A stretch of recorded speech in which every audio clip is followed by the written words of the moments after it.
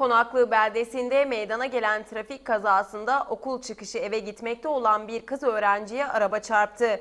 Çarpmanın etkisiyle yaralanan öğrenci ambulansla kaldırıldığı hastanede tedavi altına alındı. Kaza öğle saatlerinde Konaklı'ya bağlı Toslak Köyü girişinde meydana geldi. Okuldan çıkarak eve gitmekte olan 14 yaşındaki Ayşegül Güvenç'e yolda geçmekte olan bir araç çarptı. Çarpmanın etkisiyle başından ve kolundan yaralanan Güvenç kaldırıldığı Alanya Devlet Hastanesi'nde tedavi altına alındı.